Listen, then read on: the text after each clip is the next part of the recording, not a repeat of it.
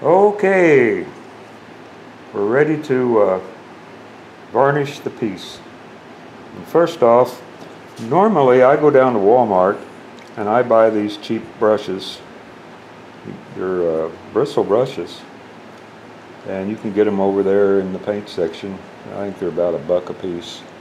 I get about six or seven of them at a time. No, I don't get seven of them, that'd be unlucky. I get six or eight of them at a time. I don't believe in odd numbers. But I made a big mistake. For some reason, there is a shoe polish shortage. We've looked in Walmart, all over the place, at other stores for brown shoe polish. And we can't find it anywhere. So guess what I'm polishing my shoes with right now? I'll show you.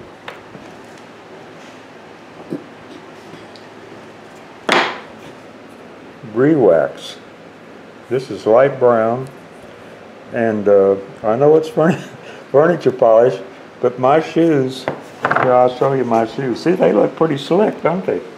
That's better than they looked earlier today, man. They look they look terrible. There was, there was nothing. I was embarrassed to walk around in them. But anyway, that's what's on this brush is, is that furniture polish. So I'm using it until I can find some regular shoe polish. Anyway. Oh, what am I talking about now? So anyway, brushes. I went through my brushes down underneath the, in my brush drawer down there, painting drawer, and found this one, so I'm going to use it. But this is a good brush. This cost this this brush cost me some money. I, I really don't like to use it except for real special stuff.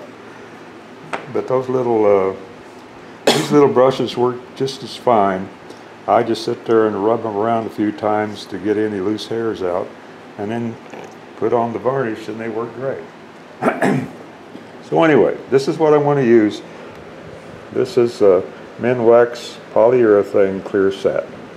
Okay? And let me tell you something. When you buy this, here I've already loosened up the lid. When you buy this, the varnish is almost clear.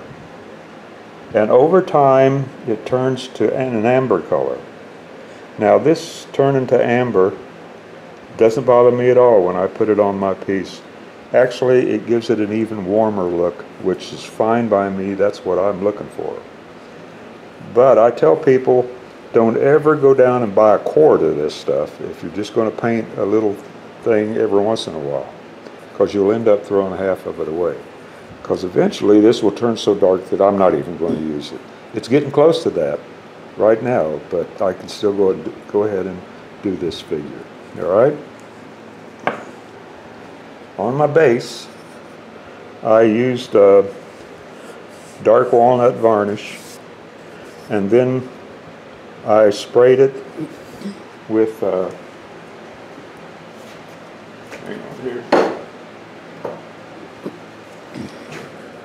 this semi-gloss clear.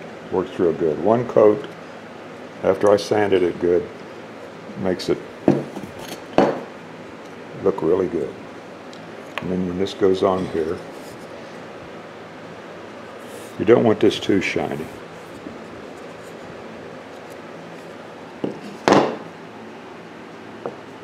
But one thing I won't do, you'll never see me paint a figure with spray paint. Because when you're varnishing, and you use spray paint, this is how it hits your carving. Bang, bang, bang, bang. Well, that's great if it's flat, like these surfaces. But this is far from being flat.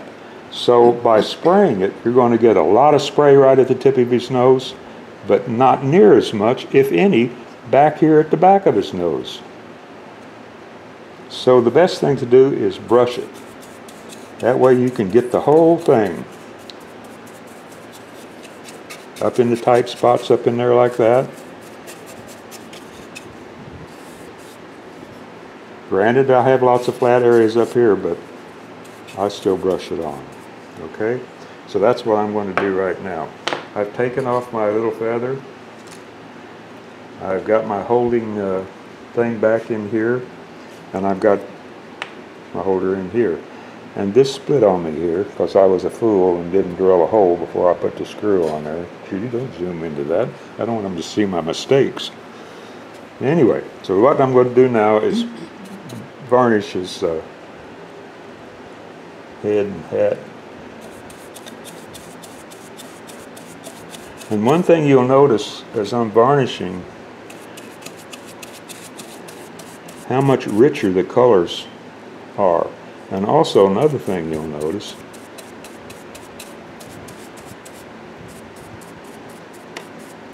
is how the surface of this really soaks up the varnish, especially the end grain, you know, where the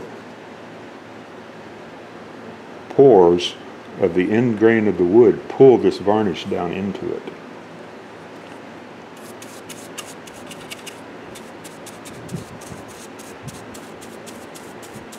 But again, if I was trying to spray this, I could never, never get an even coat on it with a spray can. So take my advice. Don't try to do that. After you've spent so much time making your carving, you owe it to that carving to give it the best, excuse me, the best finish possible. And that's what I'm doing right now. Because years from now, this finish will look as good as the day you put it on.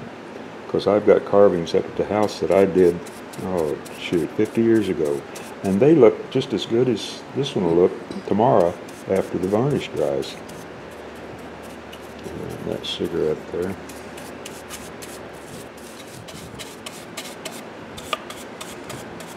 Now see, here's the, the grain's running this way on this thing. So see, you got shiny spot there and a shiny spot here. Watch up here on this area up here when I put it on there.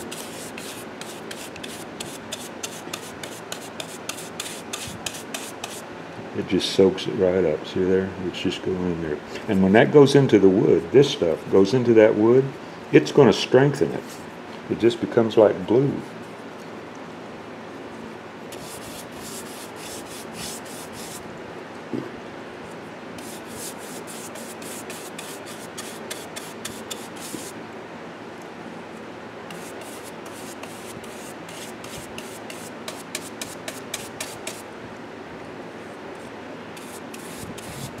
It was hot today. We were coming back from town just a minute ago. Had to go down to McDonald's and get a, our daily mocha frappe. And man, it was hot. So I turned on the air conditioner in here and I got the fan running over there because I want it cool enough in here to where it doesn't dry this varnish before I get a chance to get it all on here and even it out. See, look how much deeper these colors are since I varnished. Okay, got that done. Brush that out. Brush that out. I'm going to stop right now for just a second.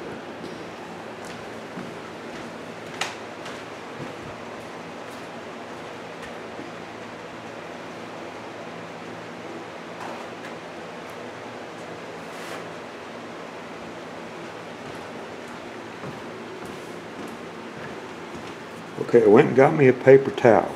Don't try to, uh, I'm going to wipe the excess varnish off. Whatever you do, don't use a cloth. Don't use toilet paper. Use a paper towel. And you won't leave a, leave a bunch of fiber behind on it. And just lightly wipe off those real shiny areas that didn't accept the, the amount of stain that it did on the end grain. This will give you a nice even finish on your uh, on your carving.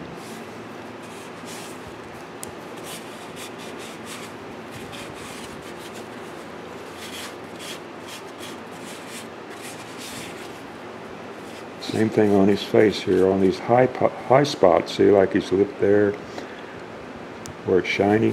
You want to get those wiped down.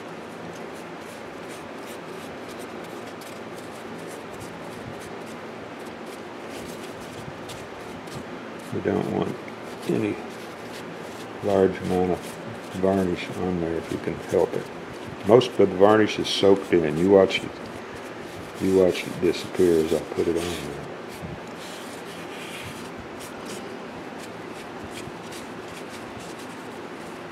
Don't rub, don't rub too hard. You just want to block this stuff off of there.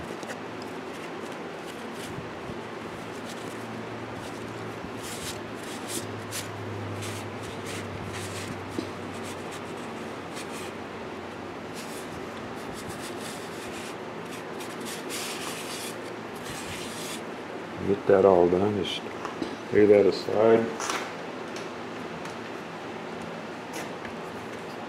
Get you something here to just set that there to dry. I'm going to do this.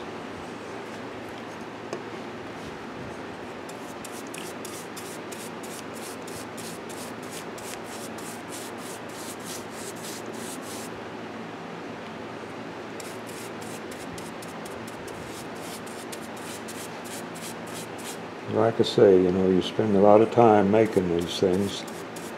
The least you can do is do that final step and make them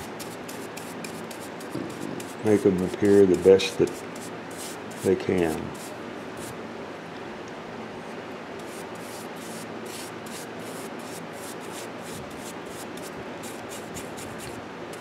When people buy my carvings, you know, we go to a show or something like that, and they'll be looking at my carvings.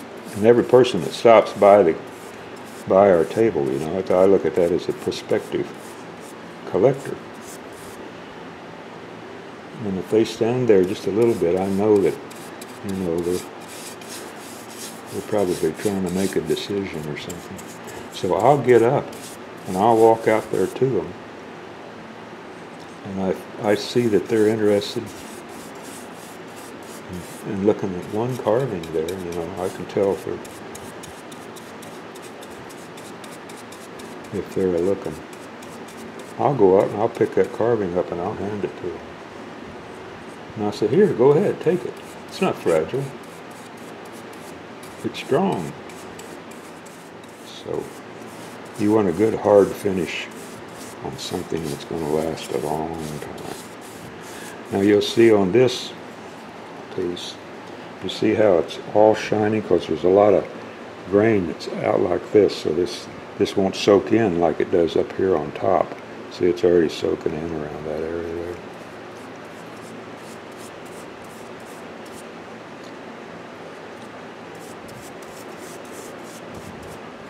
You won't get all the shiny spots, but I'll show you later on how to take care of those. So there we go. Make sure everything's painted that's going to get painted. Get my paper towel here. Make sure you don't lay it down on the dirt on the dirty table. Turn it to where you got a surface that's clean. And then again wipe off the excess varnish. This is semi semi-gloss. So it's going to have a little soft sheen to it when it dries. But uh, if it's too shiny, we'll fix that later on. It's still warm in here. I can feel this. It's already setting up.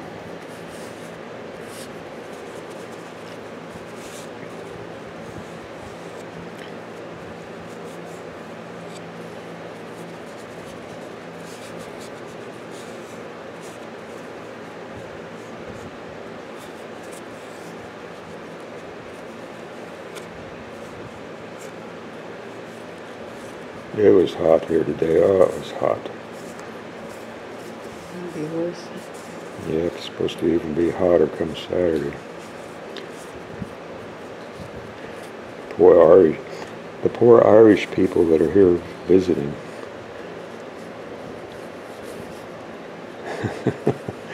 I can just imagine how they feel. We all went out for breakfast this morning. the young girls become infatuated with biscuits and gravy. Oh, she loves biscuits and gravy. I told her I always get half a bowl of gravy instead of get a whole bowl because I like to mix coffee in with my gravy because the gravy's always thick. And mixing a little coffee in there gives it a little bit tastier product and it thins it out so so you're not eating wallpaper paste. But boy, she loved that biscuits and gravy. Okay.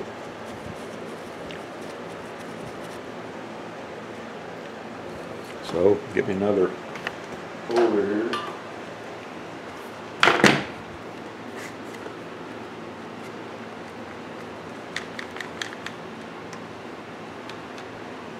Wiping it off like that also will prevent any runs, which you don't want. Okay, keep everything together. I glued his uh, cigarette in with just a drop of super, super glue. Sorry, I'm still belching having a crap. You see those colors? They really darkened up. A little shine on his nose. But in the next video, last video, I thought we'd wrap it up this time, but no, we didn't get a chance to. There's a spot on this one. Can't see it. Hmm? I can't see you doing anything.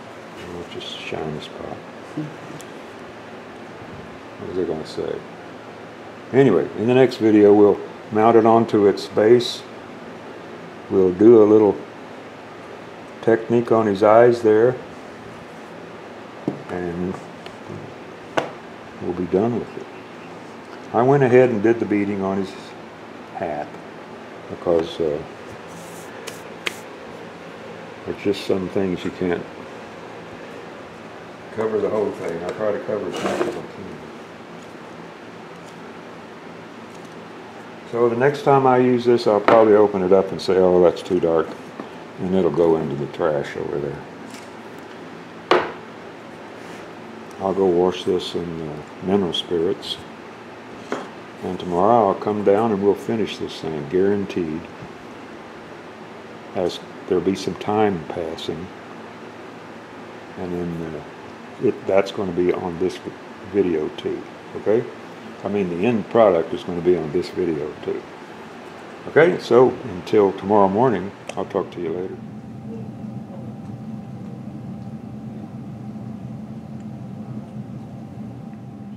All right, it's the next morning. Time has passed. Just looking over my carving here.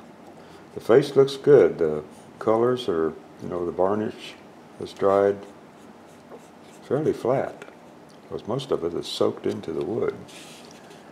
Underneath, there's hardly any sheen. There's a couple, couple spots here. Nothing really to worry about. So that turned out pretty good, so I'm just going to leave that the way it is. Now the uh, is kind of shiny, so what we're going to do is we're going to dull it down. Now to do that, I use this Testors Dull Coat, it's called. Can find the word on there. I get it down to Hobby Lobby. It costs $5.79. Probably costs more than that now. I'm sure the the price has gone up. But anyway, it's called Dull Coat. D-U-L-C-O-A-T. What it is, it's uh, things uh, uh, modelers use to dull the finish of uh, their kits, you know, the tanks and planes and stuff that they build to keep keep it from being shiny. Okay, so with this dull coat, now one thing to keep in mind, this is a lacquer. What we put on here is a mineral spirit based uh, polyurethane varnish. So lacquer and mineral spirits mixed together in quantity don't mix very well. If you spray too much of this on here, sometimes uh, it will flash and uh, you'll get a, just a white coating all over the place. Well, you certainly don't want that. So what I do is uh, start down here on the bottom because it's the shiniest. Shake this up good. Just lightly put on a coat on there like that. And using the hair dryer.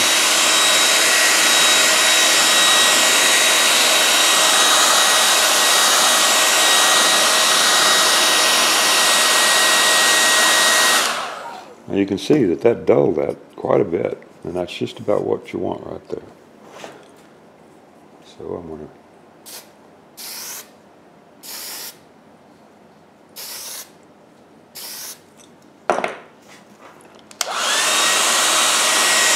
Doing it fast like this, it dries that stuff out before it has a chance to really mix in with the varnish underneath.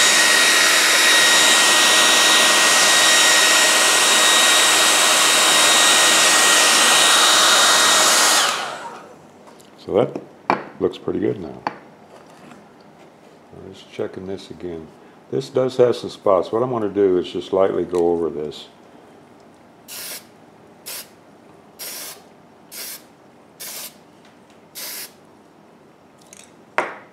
To kind of even out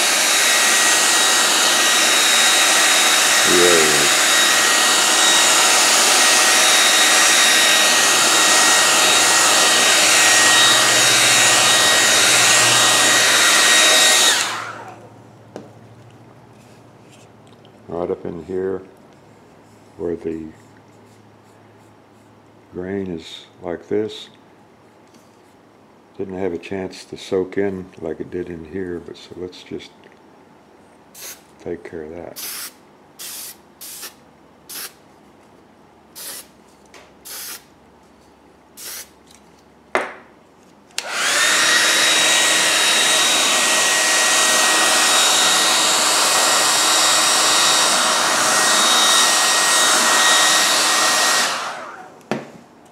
See?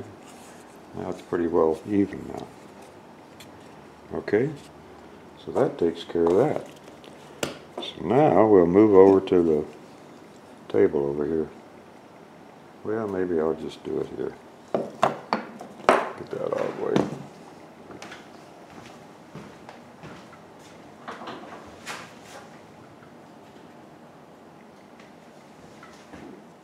Okay, Using this five minute uh, epoxy, you can get this down at Lowe's or Home Depot.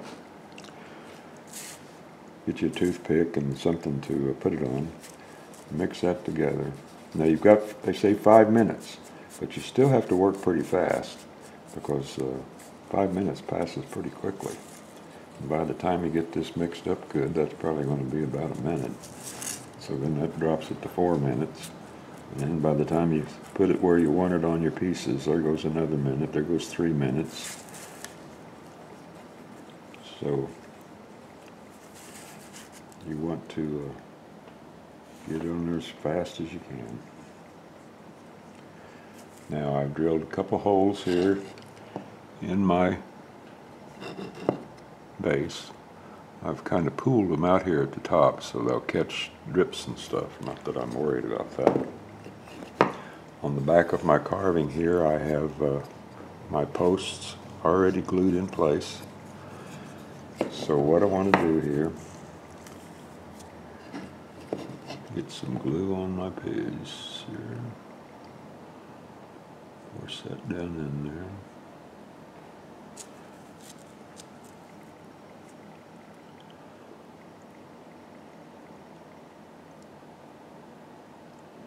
like that. Now when I put these in here, that's going to force that glue up around those pieces and hold them in place like that. Just like that.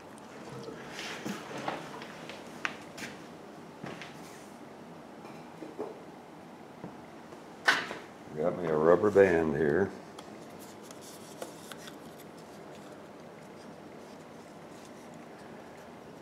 Put that on there, get that up there where those pins were.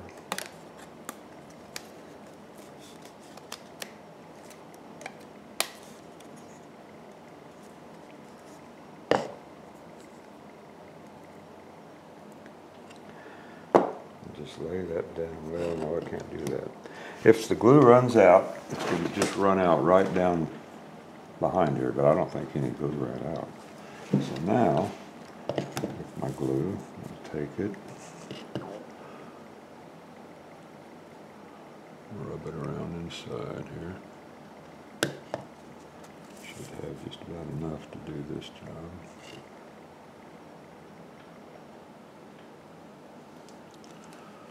Don't want any glue to come up out of the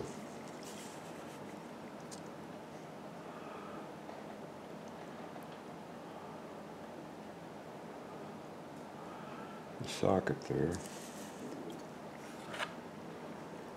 Put some on that, that unfortunate mistake of mine. Don't tell anybody.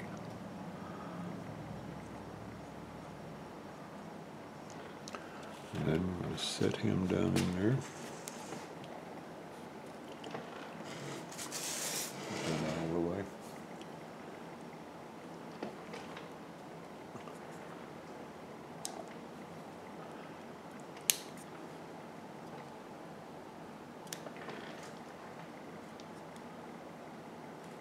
I always like to uh,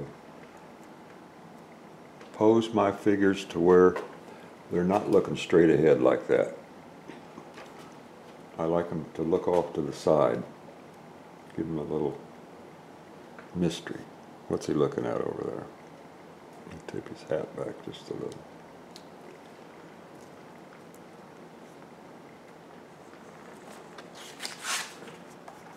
Well, that glue's already setting up, so we just had just enough time to get it done. Now we'll wait till that sets up and then we'll do one more thing. Oh, we got the, we have the uh, feather. Excuse me, got the feather. See if we can't take care of that. I think we might be able to have enough glue to get that in place.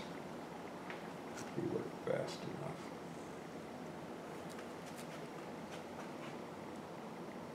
Won't take much to hold that in there. Get tag off of it. Got a hole right there.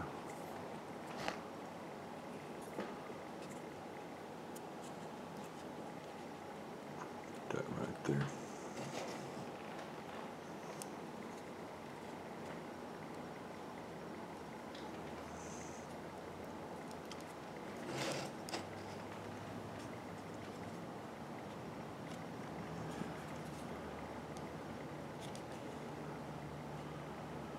Hold up there just a minute. Don't want it tipped too far forward, about like that. And that glue will set up enough to where that'll hold that in place. Just about there.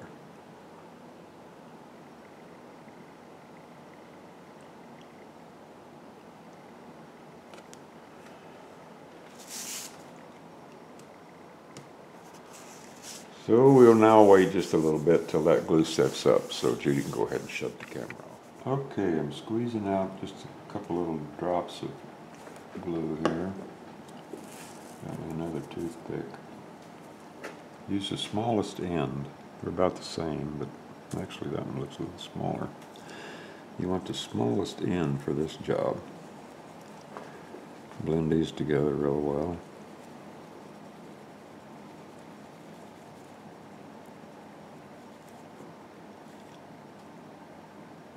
Get all the glue off your. We're going to bring him alive here. So get your toothpick, go down in there, and on the end of it, get you a little bitty drop. So you can see that drop right there. That's exactly what you want in this case.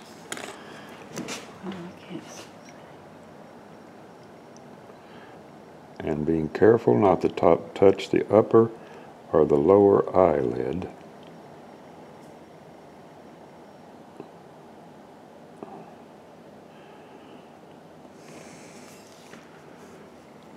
See that spot? See that highlight?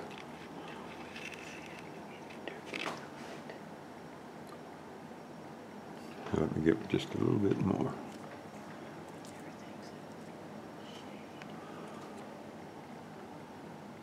That's a big. I always want to let that settle. There, see the white spot in the middle of the eye? Now people will paint black and then they'll put that spot on there. But watch that spot. See it move? Now I picked up another highlight. Go this way. It just follows right along. That's what a real eye does. And when you do this to your carvings, it just brings the piece alive. Again, being real careful not to touch the upper or lower eyelid because if you touch it, one of them, it's going to pull the epoxy away from the center and you don't want that. And always wait till that last drop string from this goes down to the other. Now, let's set him up here. Through the shadow. I can see him.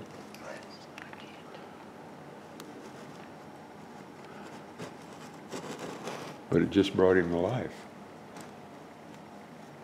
It's just, it's just a technique that I personally think is so much better than painting baby doll eyes on your carvings.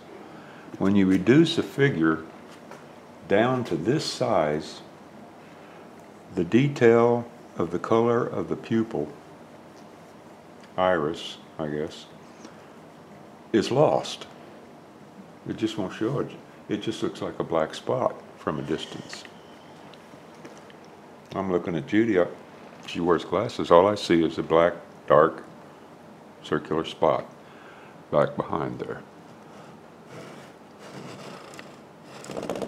So, he's done. One more project complete. I hope you enjoyed following along with this. And uh, we'll see what comes up next. I've got a chuck wagon cook sitting over on my workbench. I haven't decided whether to to do a video of painting it. It'd be pretty involved. Let me get him. I'll bring him over here.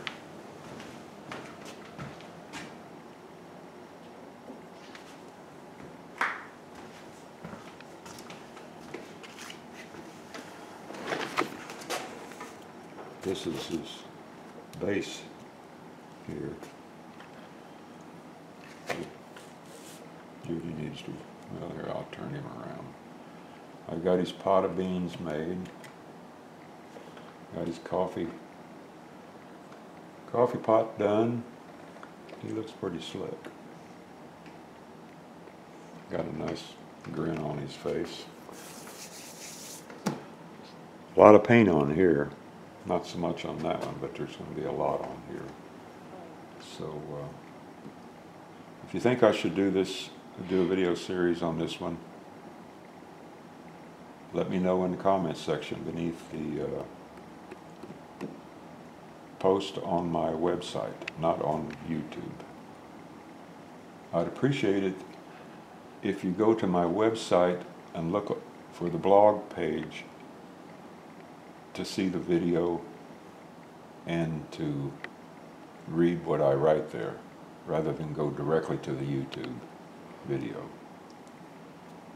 That way I can tell how many people are looking through my website to my carvings about finding out about my carvings. I just appreciate that if you would please. So this one here is ready to go. He's going to go over to the gallery and uh, one of these days I'm gonna get back to selling carvings again. I just haven't reached that point yet. So until next time, I'll talk to you later.